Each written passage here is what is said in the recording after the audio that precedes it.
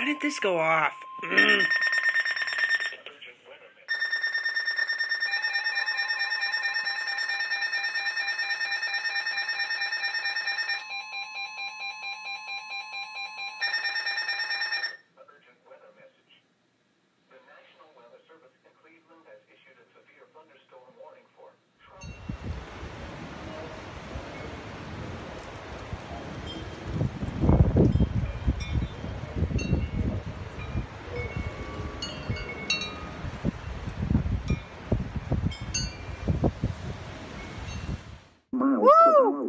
The first activation of my ENDEC, for real. It actually happened.